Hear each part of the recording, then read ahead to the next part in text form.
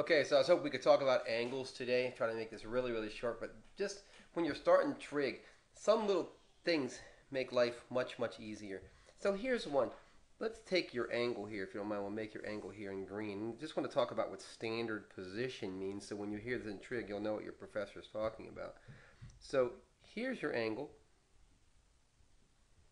So here's your angle right here, yeah? So what we're going to do when we talk about putting a uh, about having an angle in standard position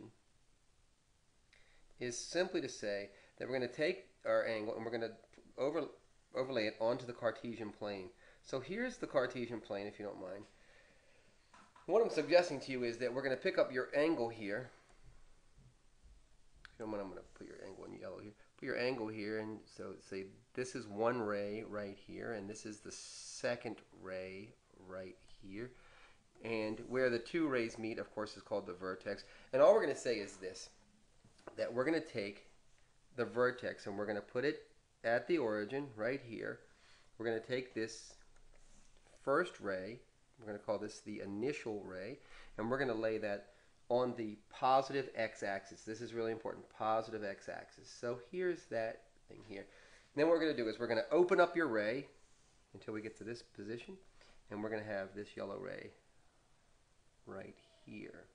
So, standard position of an angle, if we have an angle in standard position, it means we have the vertex at the origin, right? The initial ray, I-N-I-T-I-L, initial ray here. And then it opens this way, doesn't it? We're opening this in a positive direction. This is, right, if we open it the other direction, we'd have a negative, we'd have a negative angle. So we're going to open it counterclockwise and where it opens to is going to be called the terminal ray. Okay, so I'm hoping from this, when you hear your professor, or you hear your teacher talking about an angle in standard position, you know that's what he or she is talking about, okay? The next thing I want to talk about really quickly, and I'm going to stick to this idea of a very short video, is this.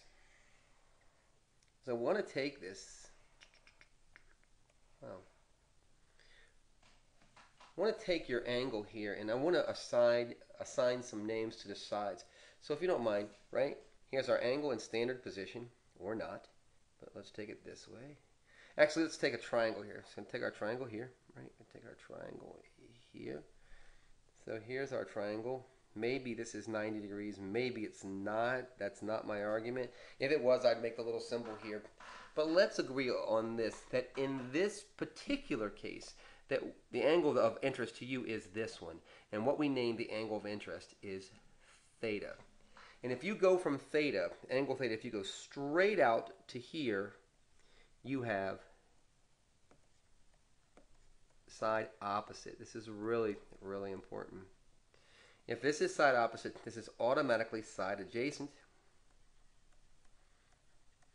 Right? And that makes this the hypotenuse the hypotenuse. Whoa, hypotenuse. Spell it right. If not, comment, will you? Okay, take a different, take something different and say, okay, I'm interested in this. I'm interested in this triangle. And you say, well, Charlie, I'm not interested in this angle. Here, me, I'm interested in this angle. So if you go straight out from this angle to here, this is side opposite and this is side adjacent and this is the hypotenuse here okay? So this is going to be kind of helpful to you. Remember when you're looking for the opposite side opposite go to your angle the, angle that you're interested in theta and go straight out from wherever that is and you'll get to side opposite. Okay?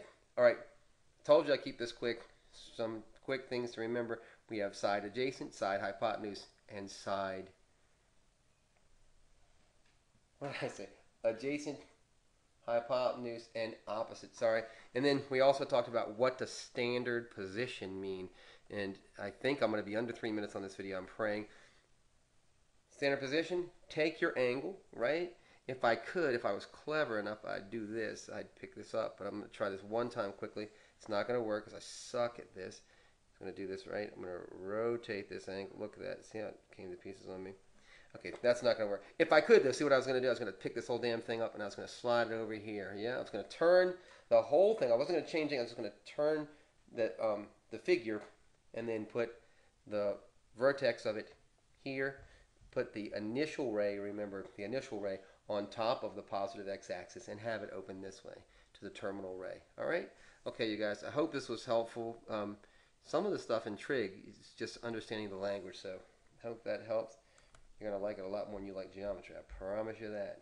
Keep working hard.